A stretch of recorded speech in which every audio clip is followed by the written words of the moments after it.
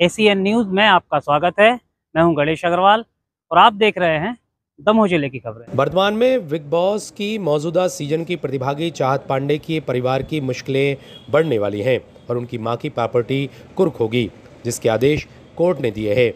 TV serial और फिर आम आदमी पार्टी की नेता बनी चाहत पांडे इन दिनों बिग बॉस की प्रतिभागी बनने के बाद सुर्खियों में हैं, लेकिन कोर्ट के इस आदेश ने खलबली मचा दी है, जबकि उनकी माँ के नाम कोर्ट ने कुर्की वारंट जारी किया है। दरअसल, चाहत पांडे एमपी के दमोह की रहने वाली हैं। उनकी माँ भावना पांडे सरकारी टीचर हैं।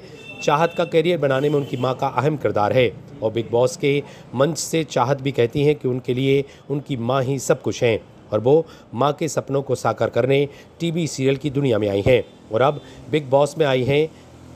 दमोह के गाँव में पली बड़ी चाहत ने 2023 में एमपी विधानसभा चुनाव में आम आदमी पार्टी के टिकट पर दमोह से चुनाव भी लड़ा, लेकिन उनका जादू नहीं चला। इस बीच अब उनकी माँ की परेशानी बढ़ गई है।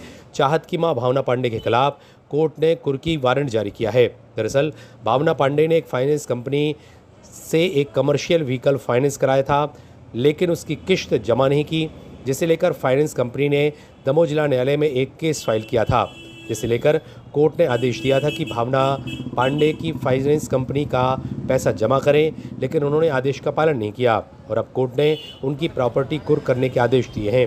दमोह जिला न्यायालय के न्यायाधीश माननीय अमर गोयल के कोर्ट ने इस कुर्की की कार्रवाई के लिए पुलिस की एक टीम भी बनाई है और पुलिस को आदेशित किया है कि वो कुर्की की कार्रवाई में सहयोग करे। आदेश के मुताबिक चाहत पांडे की माँ भावना पांडे को तेरह लाख बीस हज़ार रुपये की राशि फाइनेंस कंपनी को अदा करना है। फाइनेंस कंपनी के अधिवक्ता अनुपम भारती के मुताबिक कोर्ट के आदेश के बाद जल्दी ही कुर्की की कार्रवाई होगी। क्या कुछ कहना है उनका? आपको सुनाते हैं। Bureau report, ACN news. देखिए, ये मामला एक एग्जीक्यूशन पिटीशन है आर्बिट्रेशन अवार्ड की, जिसमें इन्होंने जो मदयून डिक्रीदार हैं भावना पांडे तो ग्राम आम चौपरा जबलपुर नाका की निवासी हैं, इन्होंने एक कमर्शियल व्हीकल फाइनेंस करवाया था। जिसकी इन्होंने समय पर किश्तें जमा नहीं करी जिसके चलते कंपनी ने इनके अगेंस्ट आर्बिट्रेशन प्रोसीडिंग्स इनिशिएट की और वहाँ अवार्ड पारित किया गया चार लाख साठ हज़ार के आसपास का एक अवार्ड पारित किया गया है। जिसकी एग्जीक्यूशन पिटीशन यहाँ दमोह जिला न्यायालय में चल रही है और जिला न्यायालय ने इनके अगेंस्ट कुर्की वारंट इशू किया है।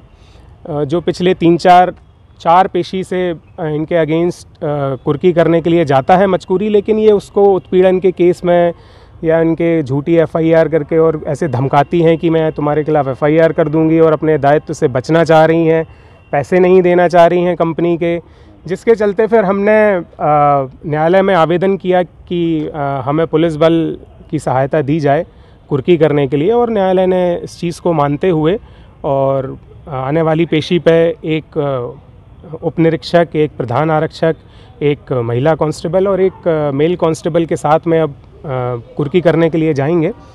और देखते हैं क्या होता है। और अभी हमें साथ ये भी ये भी पता चला है कि ये इनकी जो बेटी हैं भावना पांडे की, चाहत पांडे, वो अभी करंट सीज़न जो बिग बॉस का है, उसमें कंटेस्टेंट है। और हम कोर्ट से निवेदन करेंगे और ये पता चला कि ये शामिल होने जा रही हैं उस बिग बॉस के शो में, मुंबई। तो हमें, अब हम कोर्ट से दरख्वास्त करेंगे कि इनको दमोह ज़िले की सीमाओं से बाहर जाने से रोका जाए और ये अपना पेमेंट्स जो भी इनका ड्यू है वो करें, उसके बाद ये जा सकती हैं।